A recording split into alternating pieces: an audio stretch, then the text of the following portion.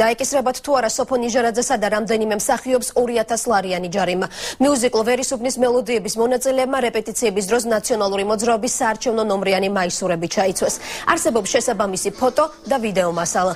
არასამთავრობო სექტორის საარჩევნო კანონმდებლობის დარღვევასა და ადმინისტრაციული რესურსების გამოყენებაზე საუბრობს. საერთაშორისო გამჭვირვალობა ცესკოსგან რეაგირებას ითხოვს.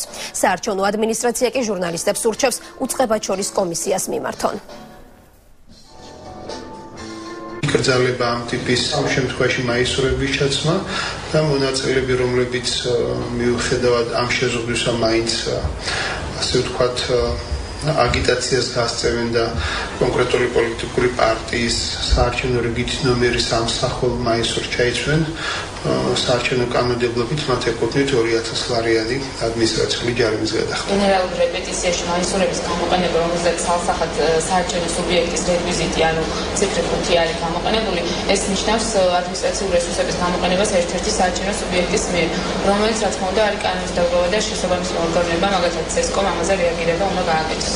ამის შესახებ უნდა მიმართოთ უწყებათა შორის კომისიას, უწყებათა შორის კომისიას ან სასამართლოს. ეს არ არის ჩვენი კომპეტენცია.